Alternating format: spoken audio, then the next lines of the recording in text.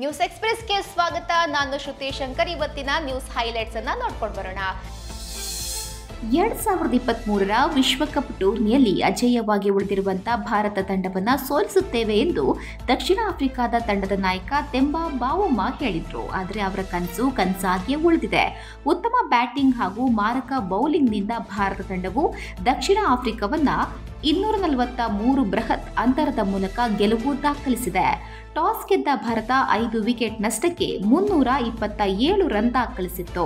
ಇದನ್ನು ಬೆನ್ನಟ್ಟಿದ ದಕ್ಷಿಣ ಆಫ್ರಿಕಾ ಕೇವಲ ಇಪ್ಪತ್ತೇಳು ಪಾಯಿಂಟ್ ಒಂದು ಓವರ್ಗಳಲ್ಲಿ ಎಂಬತ್ಮೂರು ರನ್ಗೆ ಆಲ್ಔಟ್ ಆಗಿದೆ ವಿಚಿತ್ರ ಅಂದ್ರೆ ದಕ್ಷಿಣ ಆಫ್ರಿಕಾದ ಯಾವ ಆಟಗಾರ ಕೂಡ ವೈಯಕ್ತಿಕವಾಗಿ ಹದಿನೈದು ರನ್ ದಾಟಲೇ ಇಲ್ಲ.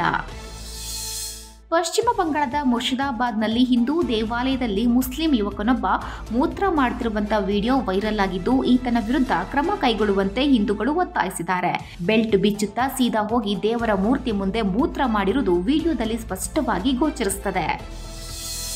ಮಧ್ಯಾಹ್ನ ಐದು ಪಾಯಿಂಟ್ ಆರು ತೀವ್ರತೆಯ ಭೂಕಂಪವು ನೇಪಾಳವನ್ನು ಮತ್ತೆ ಅಪ್ಪಳಿಸಿದ್ರಿಂದ ದೆಹಲಿ ಮತ್ತು ಹತ್ತಿರದ ನಗರಗಳಲ್ಲಿ ಬಲವಾದ ಕಂಪನಗಳು ಸಂಭವಿಸಿದ್ವು.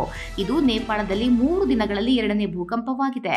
ಈ ನಡುಕವು ಜನರಲ್ಲಿ ಭೀತಿಯನ್ನ ಉಂಟು ಮಾಡಿದ್ದು ದೆಹಲಿಯಲ್ಲಿ ಡೆಸ್ಕ್ ಹಲವಾರು ಪೀಠೋಪಕರಣಗಳು ಆಲುಗಾಡಿದ ಪ್ರಸಂಗ ವರದಿಯಾಗಿದೆ. ಕಳೆದ ಶುಕ್ರವಾರ ನೇಪಾಳದಲ್ಲಿ ಪ್ರಬಲವಾದ ಆರು ಪಾಯಿಂಟ್ ನಾಲ್ಕು ಭೂಕಂಪವು ಕನಿಷ್ಠ ನೂರ ಐವತ್ತೇಳು ಜನರನ್ನ ಬಲಿ ತೆಗೆದುಕೊಂಡಿತ್ತು. ರಾಷ್ಟ್ರ ರಾಜಧಾನಿ ದೆಹಲಿಯ ಶಾಲೆಗಳಲ್ಲಿ ಹತ್ತು ಮತ್ತು ಹನ್ನೆರಡನೇ ತರಗತಿಗಳನ್ನು ಹೊರತುಪಡಿಸಿ ದೈಹಿಕ ತರಗತಿಗಳನ್ನು ಅಮಾನತುಗೊಳಿಸುವಂತೆ ಸೂಚಿಸಲಾಗಿದೆ ಎಂದು ದೆಹಲಿ ಪರಿಸರ ಸಚಿವ ಗೋಪಾಲ್ ರೈ ಮಾಹಿತಿ ನೀಡಿದ್ದಾರೆ. ಶಿಕ್ಷಣ ಸಂಸ್ಥೆಗಳನ್ನು ನವೆಂಬರ್ ಹತ್ತರವರೆಗೆ ಮುಚ್ಚಲು ತಿಳಿಸಲಾಗಿದೆ ಹಾಗೂ ಐವತ್ತರಷ್ಟು ಸಿಬ್ಬಂದಿಗೆ ಮನೆಯಿಂದ ಕೆಲಸ ಮಾಡಲು ದೆಹಲಿಯ ಸರ್ಕಾರಿ ಮತ್ತು ಖಾಸಗಿ ಕಚೇರಿಗಳಿಗೆ ಕರೆ ನೀಡಲಾಗಿದೆ ಎಂದು ದೆಹಲಿ ಕ್ಯಾಬಿನೆಟ್ ಸಚಿವರು ಮಾಹಿತಿ ನೀಡಿದ್ದಾರೆ. ಶಿವಮೊಗ್ಗದ ರೈಲು ನಿಲ್ದಾಣದಲ್ಲಿ ಅನಾಮಧೇಯ ಎರಡು ಬಾಕ್ಸ್ಗಳು ದೊರೆತಿದ್ದು, ಇಲ್ಲಿನ ವಾಹನ ಪಾರ್ಕಿಂಗ್ ಜಾಗದಲ್ಲಿ ಯಾರೋ ಕಾರಿನಲ್ಲಿ ತಂದಿಟ್ಟು ಹೋಗಿದ್ದಾರೆ ಎನ್ನಲಾಗ್ತಿದೆ. ಆದರೆ ಈ ಬಾಕ್ಸ್ ಯಾರಿಟ್ರು, ಯಾಕಿಟ್ರು ಎಂಬುದೇ ತಿಳಿಯದಾಗಿದೆ. ಅಷ್ಟಕ್ಕೂ ಎರಡು ಬಾಕ್ಸ್ಗಳಲ್ಲಿ ಏನಿದೆ ಎಂಬುದು ಇನ್ನೂ ತಿಳಿದು ಬಂದಿಲ್ಲ. ಆದರೆ ಫುಡ್ ಗ್ರೈನ್ಸ್ ಆ್ಯಂಡ್ ಶುಗರ್ಸ್ ಎಂದು ಹಾಗೂ ಮೇಡ್ ಇನ್ ಬಾಂಗ್ಲಾದೇಶ ಎಂದು ಬರೆಯಲಾಗಿದೆ.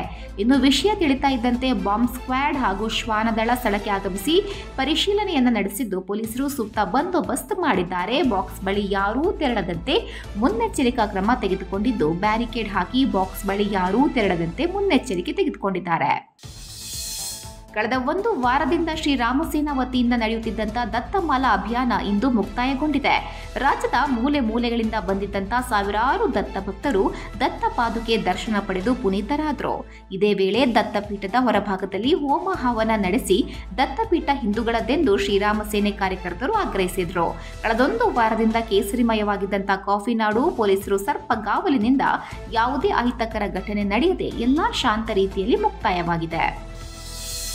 ಮುಂದಿನ ಐದು ವರ್ಷಗಳ ಕಾಲ ನಾನೇ ಸಿಎಂ ಎಂದು ಸಿದ್ದರಾಮಯ್ಯ ಹೇಳಿಕೊಂಡ ಬೆನ್ನಲ್ಲೇ ಪಿಎಂ ಮೋದಿ ವ್ಯಂಗ್ಯವಾಡಿದ್ದಾರೆ. ಸಿದ್ದರಾಮಯ್ಯ ಇನ್ನು ಎಷ್ಟು ವರ್ಷಗಳ ಕಾಲ ಆ ಸ್ಥಾನದಲ್ಲಿರ್ತಾರೋ ಗೊತ್ತಿಲ್ಲ ಅಂತ ಹೇಳಿದ್ದಾರೆ.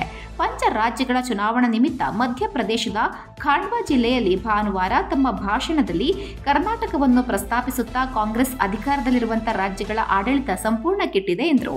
ಇದಕ್ಕೆ ಉತ್ತರಿಸಿದ ಸಿದ್ದರಾಮಯ್ಯ, ಹತಾಶರಾಗಿ ಮೋದಿ ಅವರು ಈ ರೀತಿ ಮಾತನಾಡುತ್ತಿದ್ದಾರೆ ಅಂತ ಹೇಳಿದ್ದಾರೆ. ಸಾಮಾಜಿಕ ಮಾಧ್ಯಮಗಳಲ್ಲಿ ಡೀಪ್ ಫೇಕ್ ವಿಡಿಯೋಗಳು ಹೆಚ್ಚಾಗಿದ್ದು ಇದು ಕೆಲವರ ಚಾರಿತ್ರ್ಯವನ್ನು ಹರಣ ಮಾಡ್ತಿದೆ. ಇಂಥದ್ದೇ ವಿಡಿಯೋ ಒಂದು ರಶ್ಮಿಕಾ ಮಂದಣ್ಣ ಅವರ ಕ್ಯಾರೆಕ್ಟರ್ ಅನ್ನ ಡ್ಯಾಮೇಜ್ ಮಾಡ್ತಿದೆ. ರಶ್ಮಿಕಾ ಮಂದಣ್ಣ ಎಂದು ಹೇಳಲಾದ ಒಂದು ವಿಡಿಯೋ ವೈರಲ್ ಆಗಿದ್ದು ಆಕೆ ತೊಟ್ಟಂತಹ ಬಟ್ಟೆಯ ಬಗ್ಗೆ ಕೆಟ್ಟ ಕಮೆಂಟ್ಗಳು ಬಂದಿದ್ವು. ಅಸಲಿಗೆ ಇದು ರಶ್ಮಿಕಾ ಅಲ್ಲ. ಬದಲಿಗೆ ಬ್ರಿಟಿಷ್ ಭಾರತೀಯ ಯುವತಿ ಜಾರಾ ಪಟೇಲ್ ರದ್ದು. ಅಸಲಿ ಯಾವುದು, ನಕಲಿ ಯಾವುದು ಎಂದು ಜಡ್ಜ್ಮೆಂಟ್ಗೆ ಸಿಗದ ರೀತಿ ಸೈಬರ್ ಕಳ್ಳರು ಫೇಕ್ ವಿಡಿಯೋಸ್ ಮಾಡ್ತಿದ್ದಾರೆ.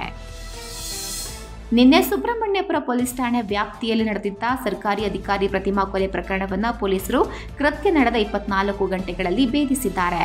ಗಣಿ ಮತ್ತು ಭೂವಿಜ್ಞಾನ ಅಧಿಕಾರಿ ಪ್ರತಿಮಾ ಬರ್ಬರ ಕೊಲೆ ಪ್ರಕರಣದಲ್ಲಿ ಅಧಿಕಾರಿಯ ಕಾರು ಚಾಲಕ ಕಿರಣ್ ಆರೋಪಿಯಾಗಿದ್ದಾನೆ. ಕಲ್ಲು ಕ್ವಾರಿಗಳ ಮೇಲೆ ಪ್ರತಿಮಾ ಆ್ಯಂಡ್ ಟೀಮ್ ದಾಳಿಗೆ ಪ್ಲಾನ್ ಮಾಡಿದರೆ ಆ ಮೆಸೇಜನ್ನು ಕ್ವಾರಿ ಕಾರಿ ಮಾಲೀಕರಿಗೆ ಪಾಸ್ ಮಾಡಿ ಅವರಿಂದ ಹಣ ಪಡ್ಕೊಳ್ತಿದ್ದಂತೆ ಈ ಕಿರಣ್. ವಿಷಯ ಗೊತ್ತಾಗಿ ಕೆಲಸದಿಂದ ಆತನನ್ನು ತೆಗೆಯಲಾಗಿತ್ತು. ಇದರಿಂದ ಕೋಪಗೊಂಡಂಥ ಕಿರಣ್ ಮನೆಗೆ ಬಂದು ಶಾಲಿನಿಂದ ಕುತ್ತಿಗೆ ಬಿಗಿದು, ಚಾಕುವಿನಿಂದ ಕುತ್ತಿಗೆ ಕೊಯ್ದು, ಬರ್ಬರವಾಗಿ ಹತ್ಯೆ ಮಾಡಿದ್ದಾನೆ. ಬೆಳ್ತಂಗಡಿಯ ತೆಕ್ಕಾರು ಗ್ರಾಮ ಭಟ್ರಬೈಲು ಎಂಬಲ್ಲಿ ಅನ್ಯ ಧರ್ಮೀಯರ ವಶದಲ್ಲಿದ್ದಂಥ ಭೂಮಿಯಲ್ಲಿ ದೇವಸ್ಥಾನದ ಕುರುಹು ಪತ್ತೆಯಾಗಿದೆ. ಇದು ಸುಮಾರು ಏಳ್ನೂರು ವರ್ಷಗಳ ಹಿಂದಿನ ಗೋಪಾಲಕೃಷ್ಣ ದೇವಸ್ಥಾನ ಪಳೆಯುಳಿಕೆ ಎಂದು ಹೇಳಲಾಗ್ತಿದೆ. ಈ ಭೂಮಿಯು ಸ್ಥಳೀಯ ವ್ಯಕ್ತಿಯಲ್ಲಿತ್ತು, ಈ ಜಾಗವನ್ನ ಬಿಟ್ಟು ಕೊಡುವಂತೆ ಸ್ಥಳೀಯರು ನಿರಂತರ ಮನವಿ ಮಾಡ್ತಿದ್ರು. ಆದ್ರಿಂದ ಇದನ್ನ ಸರ್ವೆ ನಡೆಸಿದಾಗ ಈ ಭೂಮಿ ಸರ್ಕಾರಿ ಜಾಗ ಅನ್ನುವಂತ ಮಾಹಿತಿ ಲಭ್ಯವಾಗಿದೆ. ಇದಾಗಿತ್ತು ಇವತ್ತಿನ ನ್ಯೂಸ್ ಹೈಲೈಟ್ಸ್ ನಾಳಿನ ಸುದ್ದಿಯಲ್ಲಿ ಮತ್ತೆ ಸಿಗೋಣ. ನಮಸ್ಕಾರ.